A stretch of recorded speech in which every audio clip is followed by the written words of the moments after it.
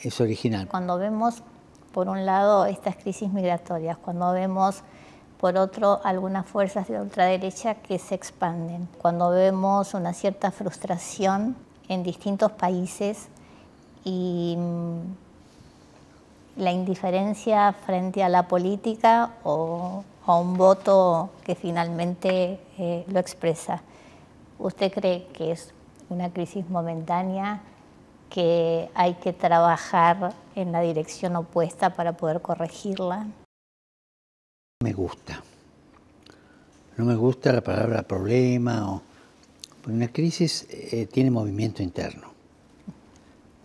Pero de una crisis se sale para arriba. No se sale de una crisis con enjuagues.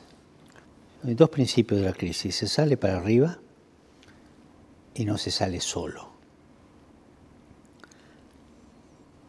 Los que quieren salir solo terminan transformando el camino de salida en un laberinto, que siempre da vuelta, vuelta, vuelta. La crisis es laberíntica y las crisis hacen crecer. A mí me encanta cuando una persona, una familia, un país, una civilización entra en crisis, porque si la resuelve bien, creció. No me encanta cuando se cierran en un problema hacia adentro y no pueden salir. Y una de las cosas que tenemos que enseñarle a los chicos, a las chicas, es a manejar las crisis, resolver las crisis. Porque eso da mucha madurez. Todos fuimos jóvenes, inexperientes. Uno se aferra a milagros, a mesías, a, a situaciones mesiánicas como eh, que se resuelva de modo mesiánico. Mesías hubo uno solo que nos salvó a todos. Los demás son todos payasos de mesianismo. Ninguno puede prometer la resolución de una cultura, la resolución de conflictos, si no es a través de las crisis saliendo hacia arriba. Y no solo. Pensé en cualquier tipo de crisis política, ¿no? Un país que no sabe qué hacer, o, acá en Europa hay varios. ¿Qué se hace?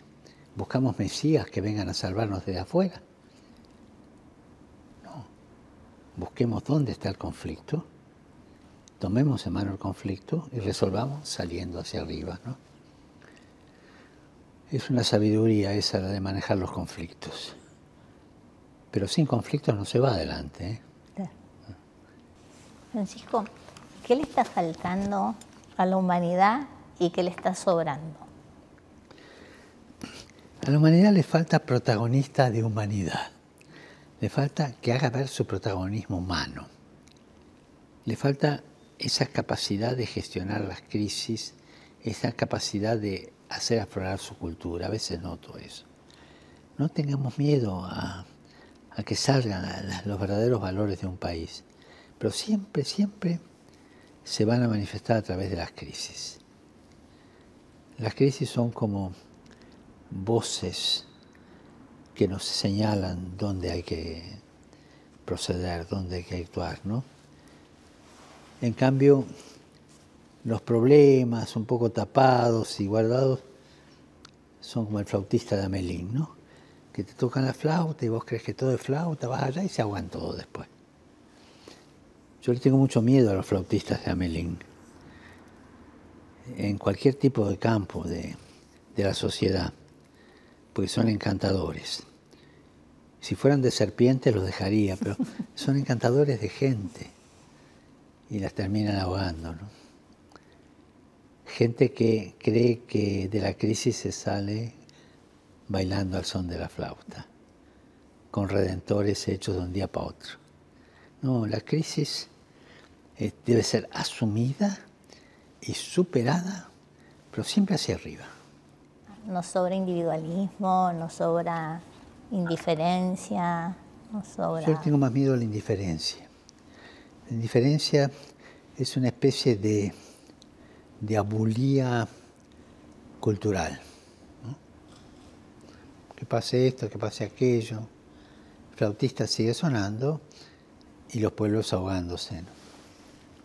las, las grandes dictaduras nacen de una flauta, ¿no? de, una, de una ilusión, de un encanto del momento, y que después, a lástima, nos ahogamos todos. ¿no?